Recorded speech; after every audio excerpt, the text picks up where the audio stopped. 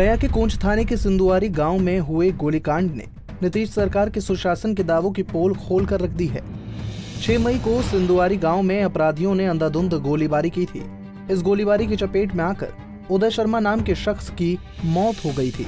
वहीं गिरिजेश कुमार कौशिक नाम के शख्स की इलाज के दौरान मौत हो गई थी। इस गोलीबारी में घायल हुए तीन लोगों का इलाज पटना के पीएमसीएच में कराया जा रहा है। चौतरफा बढ़ते दबाव के बीच सरकार ने इस मामले की जाँच के लिए एसआईटी का गठन किया है। सिंधुआरी गाँव में हुए गोलीकांड की साजिश बहुत पहले ही तैयार कर ली गई थी। भले ही सिंधुआरी गाँव में 6 मई 2020 को गोलीकांड हुआ हो, लेकिन उसकी पटकथा जून 2019 में ही तैयार हो गई थी। 2019 के जून महीने में सिंधुआरी गाँव में यज्ञ हुआ था। यज्ञ के दौरान दो पक्षों में आपसी विवाद हो गया था। विवाद के बाद कोच थाने में मामला भी दर्ज कराया गया था। इस विवाद के नतीजे में सिंधुआरी गोलीकांड को अंजाम दिया गया।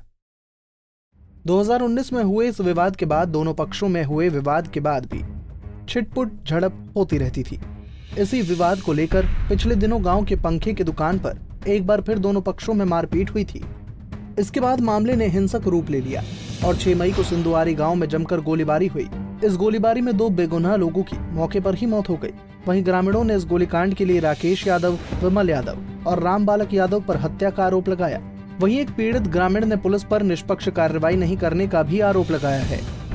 ये मेरे चाचा लगते हैं और मैं एक भैया कौन से आ रहे थे, लेडीज़ को लेकर और उसको घर से क्रॉस हो रहे थे जो गाड़ी देने लगा और आके वो घर पे बोले कि सब गाड़ी दे रहा है तो उसे बोले कि छोड़ दो। और थाना को फ़ोन कर दिया गया कि सर यहाँ इस तरह का माहौल है कभी भी कुछ हो सकता है। मा, मामला हुआ गाड़ी दिया घर पे आके भैया बोले कि देखो गा, हुआ गाड़ी दे रहा है सब लेडीज़ के लेके आ रहे थे बैंक से पैसा निकलवा के।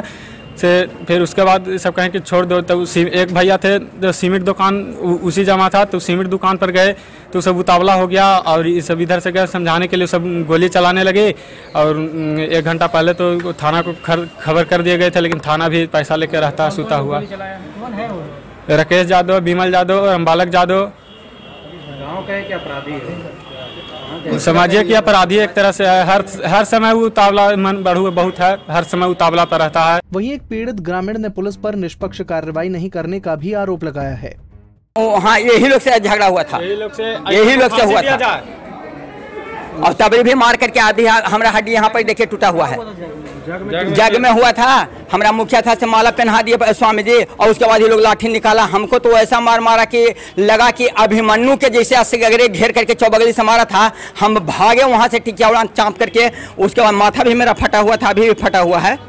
चिन्हा है और हड्डी अभी भी टूटा हुआ है। पुलिस में केस दर्ज की हाँ पुलिस में तो पूरा दर्ज है लेकिन कुछ साहब हम कह रहे हैं ना सब पैसा जैसे आप लोग ले रहे हैं तो कल छाटिएगा कि आप लोग के पास भी पैर भी आ जाएगा इसको बंद रखिएगा ये तो आप ही लोग समझ वहीं इस कांड के बाद सियासी सरगर्मी तेज हो गई है। भारतीय सब लोग पार्टी के राष्ट्रीय अध्यक्ष अरुण कुमार ने गाँव के पीड़ित लोगों से मुलाकात की और उन्हें सांत्वना दी।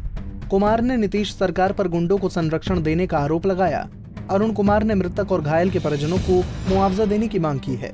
उन्होंने गोलीकांड में घायल लोगों को मुफ़्त इलाज मुहैया कराने की मांग सरकार से की। अरुण कुमार ने कहा कि भारतीय सब लोग पार्टी पीड़ितों को इंसाफ दिलाने की पूरी कोशिश करेगी। सच है। वीडियो यहाँ के नौजवानों ने दिखलाया कि वो पूरा प्रशासन उसको लेकर के बैठा हुआ है, चाय पी रहा है। वहाँ यहाँ इतनी बड़ी दुर्घटना हुई है, मातमी छाया हुआ है और वो आनंद ले रहा है। और घटना के समय दिन में घटना हुई है। अवैध राइफल से हत्या हुई है।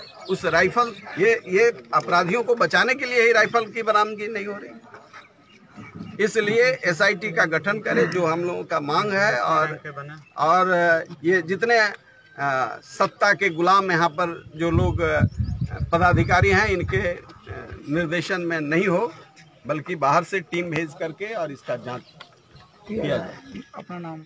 से अराजक तत्वों को संरक्षण देते हैं, हत्या कराते हैं और इस तरह के इस तरह के से पुलिस सहमी हुई है।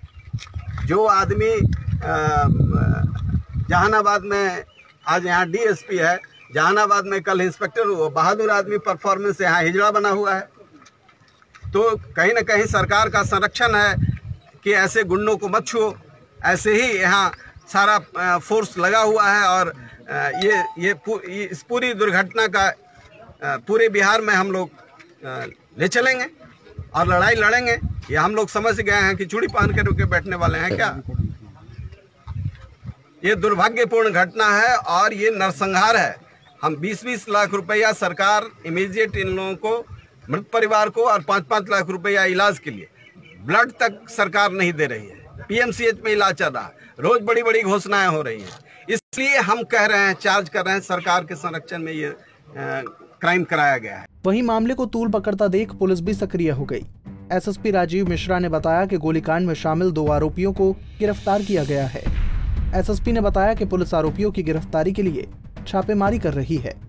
गाँव में जो है दो पक्षों में झगड़ा हो गया है। बता रहे हैं कि सुबह ग्यारह बजे जो है एक पक्ष के लड़कों द्वारा दूसरे पक्ष के लड़के की पिटाई कर दी गई थी। वो घटना कौन पीटा अभी ये भी नहीं पता चल पाया है।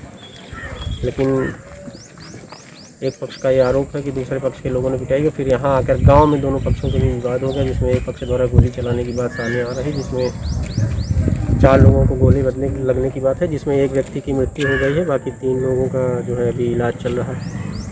और जो नाम बताए गए हैं, उसमें से फ़िलहाल दो लोगों की गिरफ्तारी हो गई है। अन्य लोगों की गिरफ्तारी के लिए जो टिकारी पुलिस अनुमंडल है उसके सभी थानाध्यक्षों को लगाया गया है और शीघ्र ही हम लोग चौबीस घंटे के अंदर सभी जो अभियुक्त हैं उनकी गिरफ्तारी सुनिश्चित करेंगे। ये दो लोग की गिरफ्तारी उनका क्या नाम है? एक तो राकेश यादव और एक जो है। एक और क्या नाम था? नहीं वो अनिल यादव के लड़के क्या नाम है?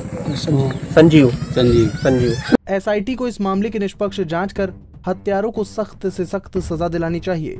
साथ ही मृतक और घायलों के परिजनों को उचित मुआवजा मुहैया कराना चाहिए। पंजाब केसरी के लिए गया से अजीत कुमार की रिपोर्ट।